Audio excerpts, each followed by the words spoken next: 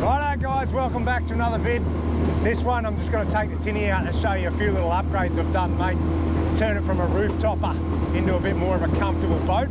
So uh, we'll kick it off, head back to the shed. I'll show you how I've decked it out, eh? Righto, it's time to show you what I'm going to do with this tinny. All right, have a look at all this gear behind me. So I'm going to. The big idea is to give it a bit of a makeover, right? So turn it from a roof topper into a more of a creek basher slash barrow boat slash I don't know, just a more comfortable fishing platform, right? So it's been great because it's on the roof all the time. Now I still want to be able to put it on the roof, so I'm not putting too much weight into it. Um, but quick rundown is all I'm going to do is put a front deck, um, some rear decks in it over the back seat slash transom, a couple of comfy seats, and uh, a few little tricks and treats. So a couple of LED lights, a swivel seat, little um, holder for the sounder, and a little switch panel too, so I can run things and just be a bit more comfortable in there. Somewhere to put the battery, strap it down, a bit of few storage hatches in the decks that I put in, uh, and a bigger esky. So anyway, we'll see how we go. I've never done this before, but what I'll do, I'll show you the gear, um, and I'll link everything in the description below so you can go there and see where I've got it from. Uh, most of this gear is from Anaconda. Uh, the rest of it I've just bought from Bunnings and whatnot, bit of aluminium and plywood I had left over from the shed build. But anyway, all right, let's have a look at it. I'll take you through. So here we go. What I'm gonna do, I'll kick off with the welder, right? So I need a welder to be able to stitch in some extra framework to put the decks on. So what I've done is I've got one of these. Now, this is a Unimig Viper. So why have I gone with the Viper? It's because I want to use it for a heap of different things. So I want to be able to weld mild steel.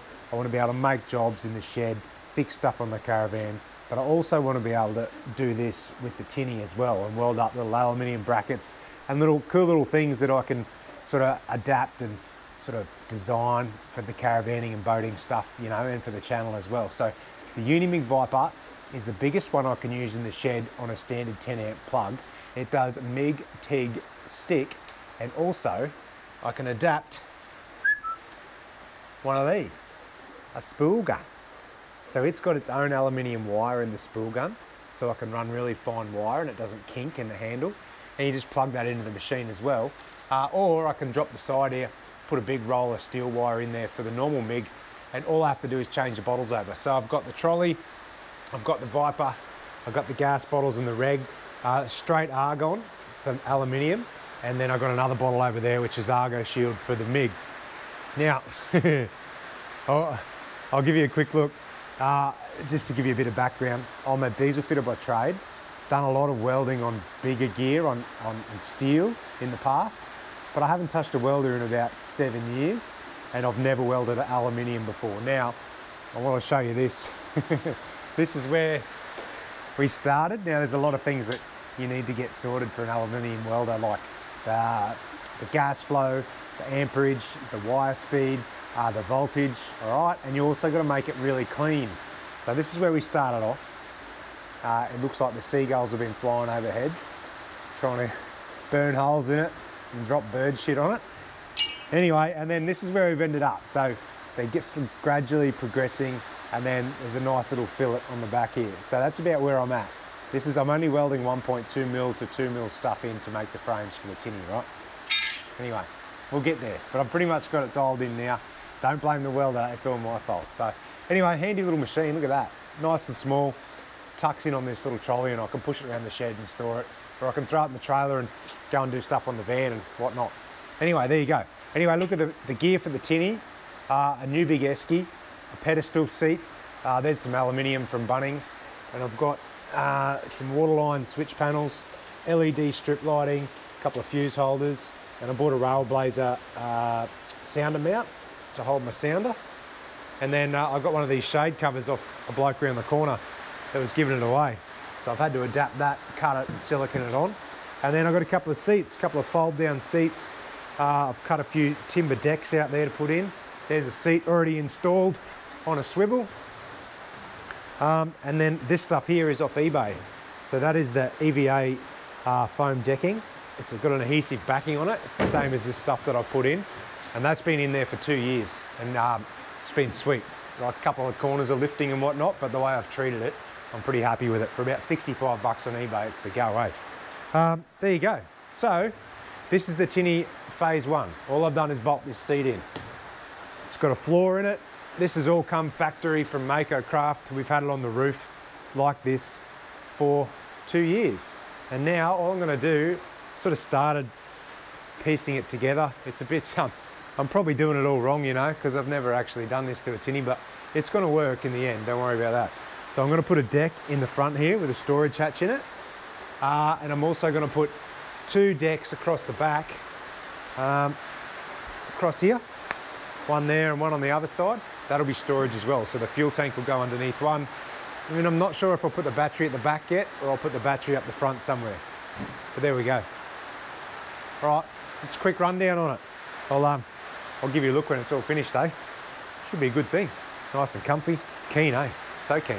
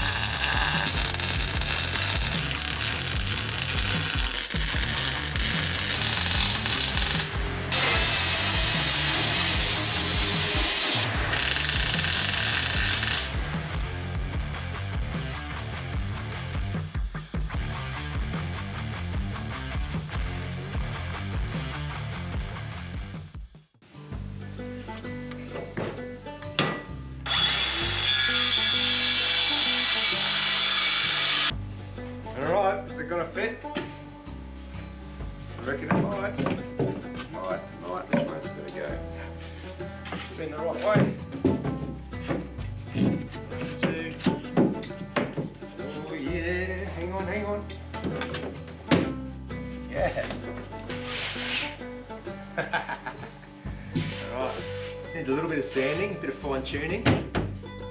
We're nearly there. Hey, is the big one. Needs to fit the main casting deck. Ooh. A bit of play there, but we can, once it gets screwed down to the frame, will be sweet. So with this timber, I'm gonna have to seal it. I just got, honestly, I'm just using stuff I've got left over. I'm not gonna spend big money on this thing. I don't really care if the timber rots or sogs out or something. Uh, this is just a trial run, and I've always got these templates. If it does fail, I can make it out of proper marine ply or some alley or something better, but I'll always have this template. So what I did, I used old cardboard boxes to make the shape and the templates of everything. So to get all the cutouts and all that sort of stuff. So I did all that, traced it out, uh, and then just cut it out with uh, a circular saw and a jigsaw. But what I've got is some leftover paint. I'm going to seal it up, give it a couple of coats of this, and then uh, once that's dry, we'll put that EVA foam decking on top, and then they can slot in. Should be good, I reckon. Should be real good.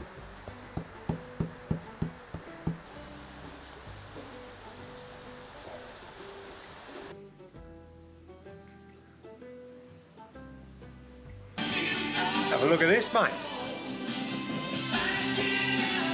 Yeah. ah, it's not that pretty under there, but I'll tell you what, it's doing the trick. Let's go. Lights, mate. I'm going to put a couple of little LED strip lights in here, just so I can go fishing at night, try and live bait some jacks, barra, whatever, up the creeks, maybe some prawns and stuff like that. But I grabbed these, I fitted one on one side, but I'll show you how I do this side. Uh, can you get that out of the light? There you go. They're not DRA. It's only a waterproof, 12 volt, self-adhesive, multi-purpose strip light. There you go. Uh, all you do is pull it out of the packet, pull the backing paper off it, and stick it on. Now I've um, I've cleaned up where I'm going to put it with a bit of light sandpaper and then some acetone so it should stick real well. Uh, the other one has, but I'll also put like a couple of dobs of clear silicone on it as well just to hold it in place. But um, like I told, showed you before, I've got the little switch panel. So these will run into that. So I can have like some deck lights on a little switch panel. Just make it like real, like easy to fish out of, you know? Not trying to have head torches and fluff around. You can just go out and everything's in the boat. Anyway, righto. So I'm just gonna run it under here like this. So I'm just gonna feed it through there and stick them on.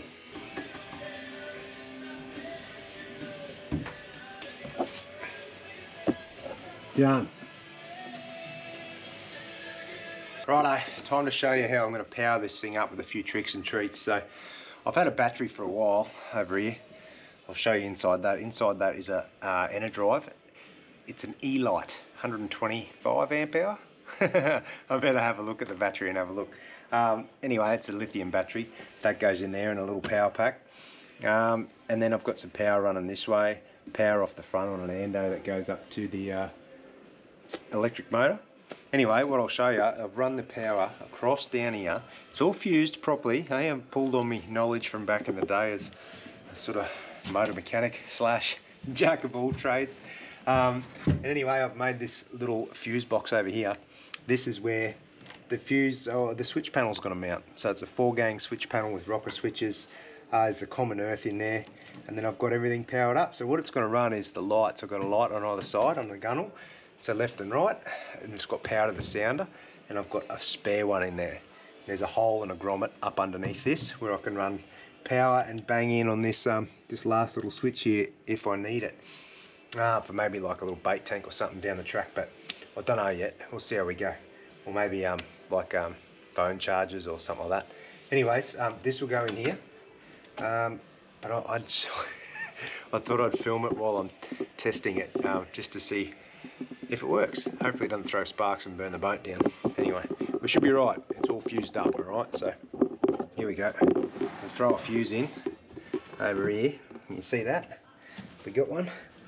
Our best idea is to start with a small fuse in case you've done something wrong. It'll blow the fuse before it starts cooking your wires, yeah? All right, here we go. Oh, nothing zapped or banged or crackled, so that's a good start. Oh, yeah, hang on. We've got lights over here, so that's a good thing. All right, so should be um, power here somewhere. Hey, there's one light. What's this one? This one should be this one over here. Click, yes. And then this third one here, that's the um, sounder power. So let's hope if I press and hold that. Oh, yes. Right on. Boot up, yeah. All right. Happy days. oh, there's a win. Hey, ah, a couple of tricks and treats in the tinny, mate. Got lights when I'm out fishing. Got power for the Alecchi motor. We've got a switch panel. Got power for the sounder. Um, we're good to go, mate. I think we're pretty good to go. Actually, this top of this thing's got USBs in it to charge phones. So there you go. Can run that. All right. What's next? Gonna make some storage hatches in these decks, eh? Oh. Righto, so I'm going to put this foam on the decks. This stuff was literally 60 something dollars off eBay. You get a couple of meter roll of it. And it's three mil thick, self-adhesive on the back of it, uh, and it's foam. Now I've had it in the tinny for a couple of years, just on the seats and the front um, nose cone, and it hasn't come off, eh? Like might have lifted in a corner here or there, but it's not going anywhere. So I'm going to do the same stuff. I don't know how well it's going to stick to my painted decks. Um, they're clean, they're smooth, and they're painted, but uh, it's not going to be as good as fresh alley like I put the last set on the aluminium seats of the tinny as soon as I got it. So uh, anyway, I've wiped it all down, it's all clean, so we're just going to stick all this foam on the decks and I'm going to weight it down, like flip it over, let it sit overnight with some weights on it just to hold all the foam on it, uh, and hopefully it don't come off. Anyway, if it does, it's only 60 bucks.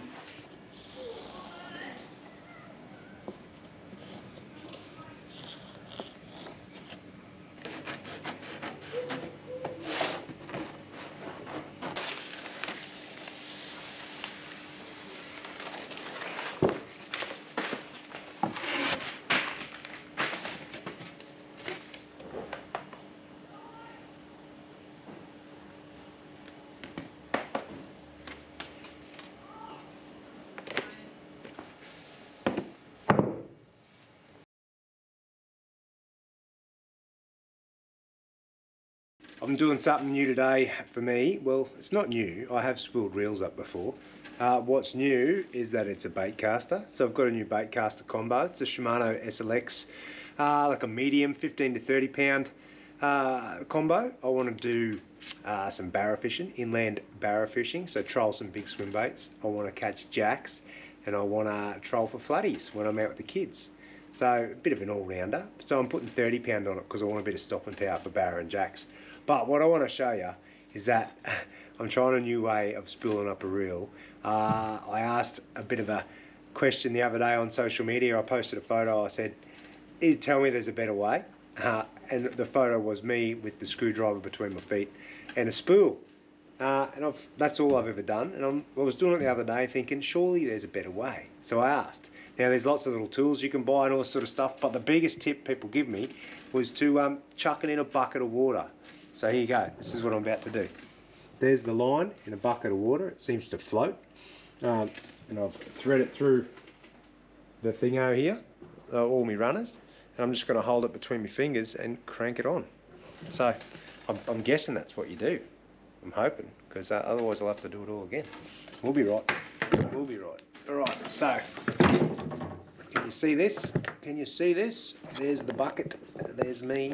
Here's me reel. And we'll see what it does. Oh yeah.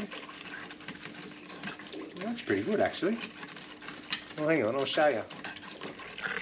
There you go.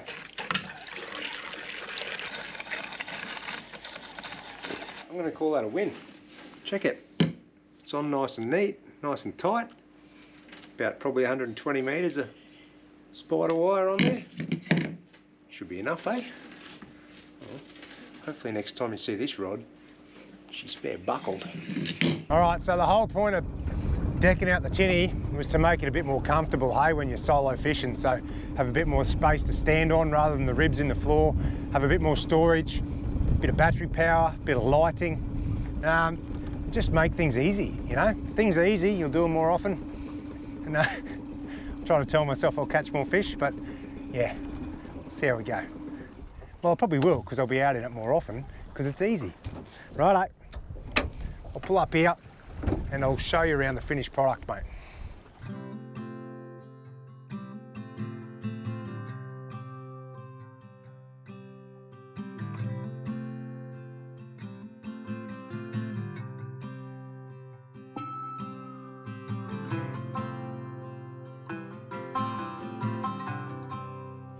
Righto, so let's do a run through, mate, of the finished product. I'll flip this camera around and walk you around everything I've done in here uh, to make it this fishable little weapon that it is now. I'm actually in love with it. It's a sick little tinny, eh? It was an awesome roof topper, but now that it's not gonna live on the roof of the cruiser too much, um, this is actually epic, man. So anyway, let's spin around and we'll go from the back to the front, hey?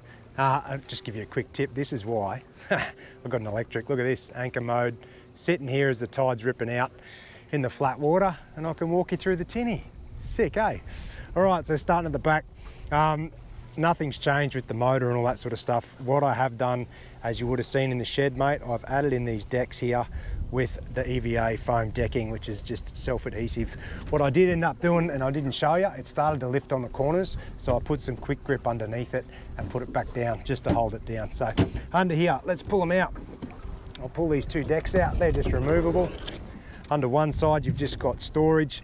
I can put water, safety gear, uh, oars and stuff like that, or fishing gear, bait, um, net. I was gonna put me burley and bait net in there. And then on this side, if I take this one out, there's your fuel tank. So this is my welding. Don't look too close. It's come up a treat. It's a little bit ugly, but I've just put a frame in here with some angle and some box.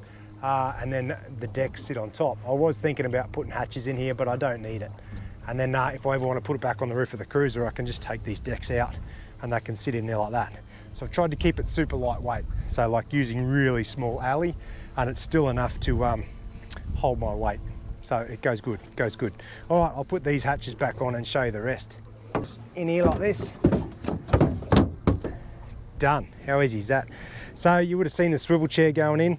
That's been a game changer, mate. That's so much comfier and easier to get in and out of the boat. You jump on that, swivel around, and um, grab your tiller and away you go. It's bloody handy, eh? One thing I will tell you is that I didn't put extra um, oh, timber under here, I think you should probably mount this to a bit of plywood, big square of plywood, then mount the plywood to the seat because this is um, getting a bit of movement in it where it's flexing in the aluminium seat, right? So that's one modification I'll have to upgrade in future, I'd say. But yeah, getting there. All right, um, battery box. There you go. The battery box goes in here. Just put a couple of stainless um, links there and a, a, ratchet strap. So that bolts in there, then I can pull it in and out, no dramas. You've got one Anderson plug here that runs up to the Alecci, not a drama. And then you've got another Anderson here that feeds across under the seat in conduit and it comes out over here at me um, at my little battery box or my little switch panel. So I've got a spare, I've got a depth sounder, I've got lights, I've got cabin lights. They've all got circuit breakers, that are individually wired. Um, yeah, and then here's me little sounder. How good is it? So the depth sounder, it's the same one I always had, little Garmin one. But I bought this um, little, uh, it's called a Railblaza mount. And what they do, they attach on here.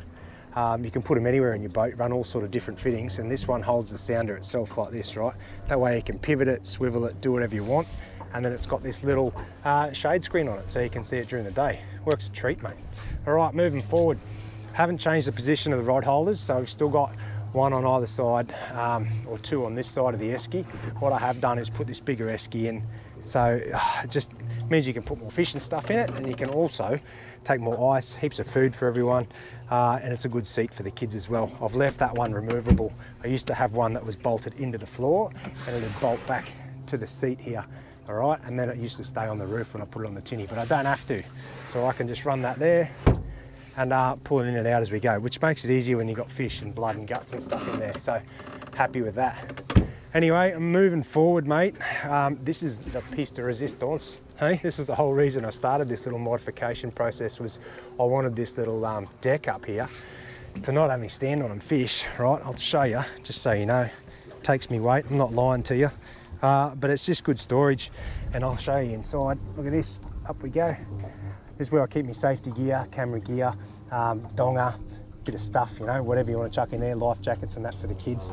Uh, and then I'll put a bit of overlay in of the framework here. So that's just stitched in to the front and then um, just cut out this little hole in the middle of the deck. There you go, a couple of hinges. I do need to upgrade these to some stainless screws and better hinges, but I'll do that in the future. And then in here, look at that. The anchor well still holds all the anchor and the rope and stuff and the decking on the front. So this is like I told you, this decking's been on the boat for like two years or more. This is what it's looking like. So it's had a hard life, mate. Been around the country on the roof of the car. So yeah. And then there you go, the Watersnake. GPS on it, so you got anchor mode and it's quick release. So you can buy this quick release plate uh, that bolts onto your, the mount on your tinny. And then all you have to do is pull this pin out and the whole motor comes off simple as. So when you do want to chuck it on the roof of your car, you just pull the pin, just chuck this in your canopy and away you go. But yeah, that is it. what do you reckon? Hey, you stoked with it as I am? I tell you, um, for like a couple of days in the shed mucking around, bit of fun. It's turned a, a rooftopper into a good little creek boat. So when you are finished your travels, you can come home and um, you might not have to upgrade to a bigger tinny. You can just sort of deck it out, put a few more mod cons in it, and then you can run up and down the creeks. I've even had it out the front on a good day too. Chase it out the front, see if you can get some mackies and that. So, righto, that's it. That is the tinny, hey, version two, Mark two of um, Tom the Tinny. I like it. Righto, cheers guys. Any questions, comments, feedback, drop it down below. Love your work. Cheers for your support. And um, well, like I said, hopefully it'll catch me some more fish, eh? I really want to get out to these inland dams and try and chase some big barra. That'll be fun. Right, see you later. All right, I just want to show you one more little addition that I've done to make this a bit better. Um, I've got it on another trailer. So I've got an old Redco trailer off uh, Marketplace. It cost me 800 bucks. They still bloody hold their value, the buggers. But at least it's got some suspension on it, right? So now uh, the old fold up one that goes on the, the back of the van, it's good for travel, but it just shakes the hell out of your tinny when you're trying to tow it around any sort of rough stuff. So I've bought this one to chuck it on uh, so I can do some missions up some dirt tracks and go out to the dams and that. So there you go. I've also added this motor support mount. So this one is um, an Ark one. Grabbed it with all my other gear from Anaconda and you just chuck it in the little mount on the trailer and it goes up here into a rubber V which supports the leg of your motor. That's it. Happy days.